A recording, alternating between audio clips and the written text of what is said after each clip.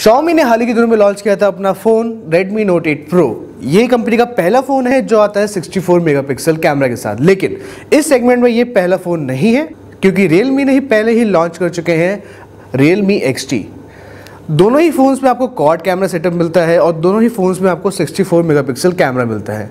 लेकिन किस फ़ोन का कैमरा ज़्यादा अच्छा है, देखते हैं इस वीडियो में।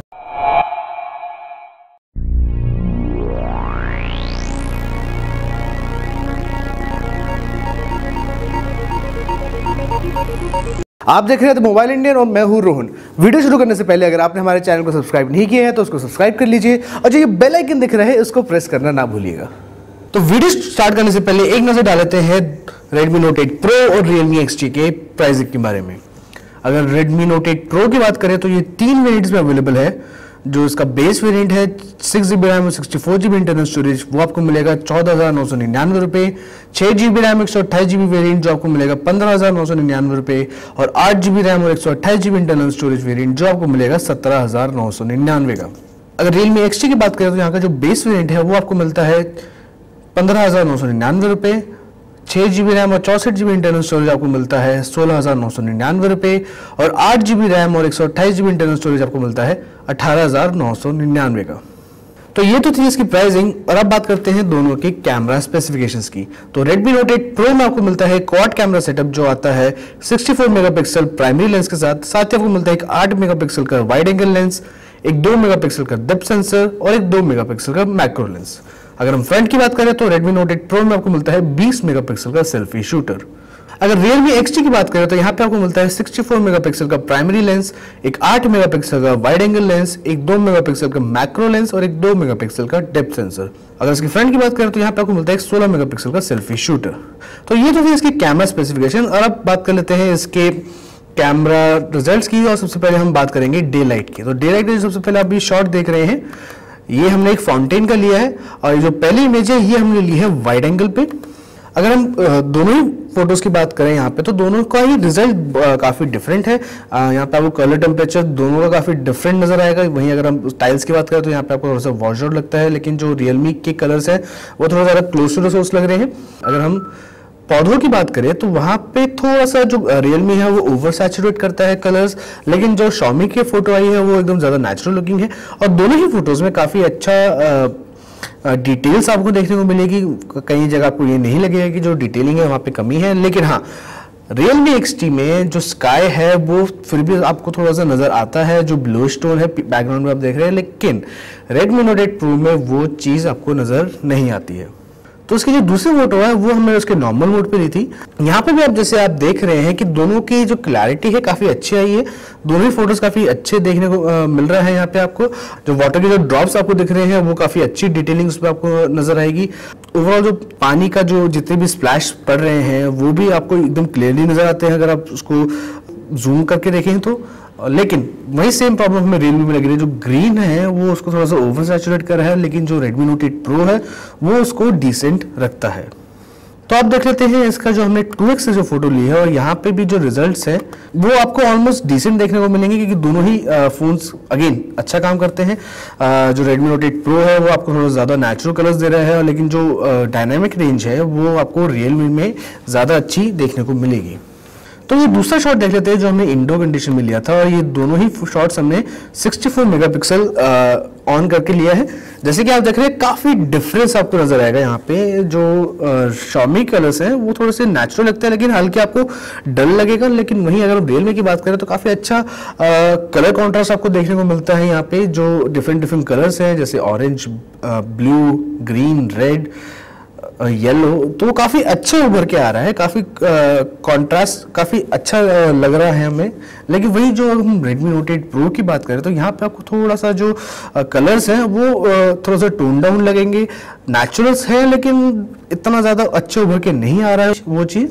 अगर हम दोनों की डिटेल्स की बात करें तो दोनों की डिटेलिंग्स का, काफ़ी अच्छी है। यहाँ पे हमने जो नारियल को अगर आप जूम करके देखेंगे तो दोनों में जो डिटेल्स लेवल्स हैं वो ऑलमोस्ट एक जैसे ही हैं, आपको वहाँ पे कोई डिफरेंस नज़र नहीं आएगा, लेकिन हाँ जो कलर्स हैं, अगर आप उनमें से हैं जिनको थोड़े से पॉपी कलर्स चाहिए, जो अच्छा कलर्स उनको चाहिए या ज़्यादा अच्छा कॉन्ट्रास्ट जिसको चाहिए तो वो रियलमी का देख सकते हैं, वरना रेडमी नोट एट प्रो भी आपको एक डिसेंट फ़ोटो देता है।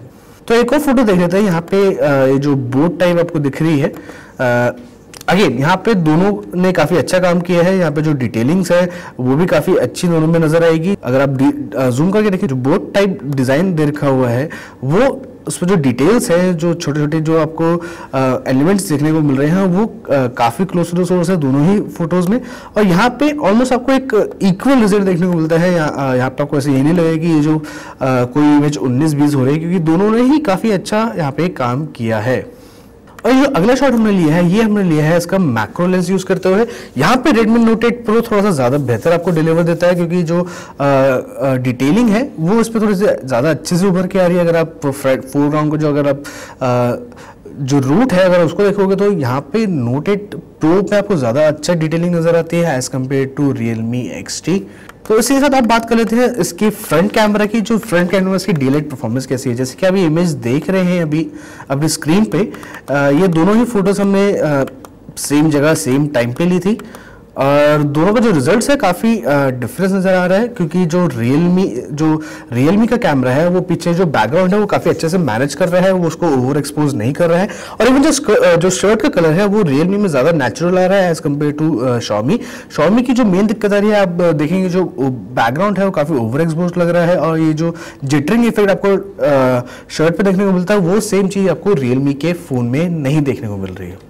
तो अब बात कर लेते हैं इसकी लो लाइट परफॉर्मेंस की। जो सबसे पहला शॉट है, वो हम यहाँ पे देखते हैं। हमने ये जो फूट ये जो हमने बिल्डिंग का शॉट है, ये जो शॉट लिया है, हमने नॉर्मल लिया है और इसमें हमने यूज़ किया है नाइट मोड तो जो पहला शॉट है, इस पर अगर आप देखेंगे तो दोनों का रिजल्ट्स ऑलमोस्ट आपको एक समान लगेगा, लेकिन जो नोट सेवन प्रो है, वो ज़्यादा अच्छे से हाइलाइट्स कैप्चर कर रहा है। तो अगर आप बिल्डिंग देखें या इवन ट्रीज देखें तो नोट एट प्रो में आपको थोड़ी ज़्यादा बेहतर नज़र आती है। और वहीं अगर रियल में एक्सटी करें तो ये भी काफ़ी पीछे नहीं है। जो इसका जो रिज़ल्ट है, वो आपको ऑलमोस्ट वैसे ही देखता है, क्योंकि दोनों ही फ़ोटोज़ में आपको जो टेक्स्ट है, जो बोर्ड लगा हुआ है, वो आप इजिली रीड कर सकते हैं। लेकिन जब हम नाइट मोड स्विच करते हैं तो चीज़ काफ़ी बदल जाती है।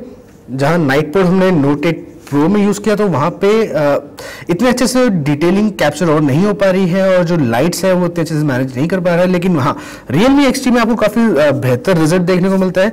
जैसे कि आप स्काई का कलर भी देख रहे हैं तो उस रियल मी में आपको ज़्यादा अच्छा लगेगा as compare to Note eight Pro और इवन जो आगे जो ट्री है फोरग्राउंड में, वो डल आ रहा है नोटेड प्रो में, लेकिन रियल मी एक्सटी में वो चीज़ हाईलाइट हो रही है। तो उसका जो नाइट मोड है, वो कंपेरेटिवली बेटर है नोटेड प्रो से।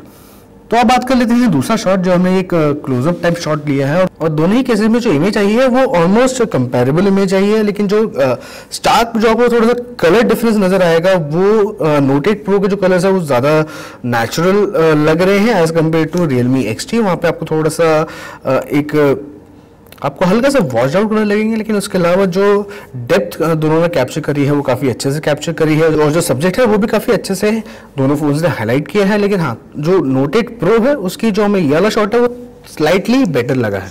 तो इस वाले शॉट की बात कर लेते हैं, ये हमने लिया था यूजिंग वाइड एंगल लेंस और जैसे कि आप दोनों ही फ़ोटोज़ में देख रहे हैं, जो नोटेड प्रो है, वो थोड़ा सा ज़्यादा बेहतर परफॉर्म करता है, क्योंकि जो बिल्डिंग है, वो ज़्यादा अच्छे से हाईलाइट कर पाता है।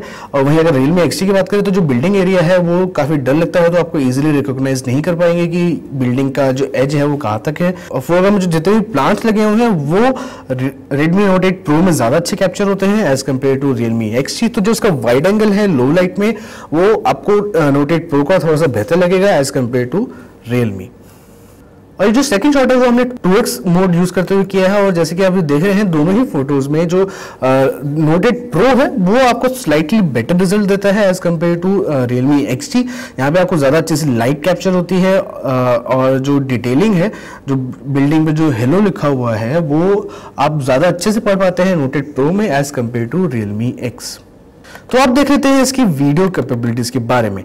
और सबसे पहले देखते हैं ये वीडियो। तो ये जो दोनों ही वीडियोस आप देख रहे हैं, ये हमने स्लो मोशन वीडियो में यूज़ किया है। और अगर हम रिज़ल्ट की बात करें तो जो रियल मी एक्स है, उसका हमें स्लो मोशन ज़्यादा अच्छा नज़र आ रहा है क्योंकि जो एक फोकस वो लॉक कर पाए हैं, वो आप, एक जो फोकस है और जो डिटेल्स हैं और जो क्रिस्पीनेस है, वो आपको रियलमी के फ़ोन में ज़्यादा अच्छी लगेगी एज़ कंपेयर टू रेडमी के फ़ोन में। यहाँ पे आपको थोड़ा सा जो डिटेलिंग्स है, वो इतने अच्छे से उभर के नहीं आ रही है और जो फोकस है, वो थोड़ा सा डामोडोल हो रहा है, लेकिन रियलमी ने यहाँ पे एप्टली एकदम फोकस किया है। तो उसके साथ अब देख लेते हैं जो हमने वीडियो बनाई है, इसका फ्रंट कैमरा यूज़ करते हुए। तो इस टाइम जो आप वीडियो देख रहे हैं, ये हमने इसके फ्रंट कैमरा से रिकॉर्ड कर रहे हैं और दोनों में ऑडियो इसी से कैप्चर हो रहा है। इस टाइम पे हम कोई दौड़ बोल नहीं रहे आराम आराम से चल रहे हैं। तो आप ही बताइए कि आपको कैसा लग रहा है कि आपको क्वालिटी अच्छी लग रही है कि नहीं लग रही है? ऑडियो किसका आपको बेहतर लग रहा है? इस टाइम जो आप वीडियो देख रहे हैं, ये हमने इसके फ्रंट कैमरा से रिकॉर्ड कर रहे हैं और दोनों में ऑडियो इसी से कैप्चर हो रहा है। इस टाइम पे हम कोई दौड़ बोल नहीं रहे आराम आराम से चल रहे हैं।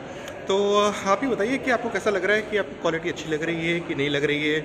ऑडियो ऑडियो किसका आपको बेहतर लग रहा है? तो अब आ जाते हैं इस वीडियो के एंड में। कौन से फ़ोन का कैमरा ज़्यादा अच्छा है? जितने भी अपने फ़ोटोज़ देखी हैं और जितने भी अपने रिजल्ट्स देखे हैं, जो रियलमी है, वो भी अच्छे फ़ोटो खींच रहे हैं, लेकिन कहीं कहीं जगह वो जो कलर्स है, उसको थोड़ा सा ओवर सैचुरेट कर देता है। वही अगर हम रेडमी नोट एट प्रो की बात करें तो जो कलर्स है, वो थोड़ा सा म्यूट करता है। इतने अच्छे से उभर के जो वाइब्रेंसी है फ़ोटोज़ में, वो नज़र नहीं आती है।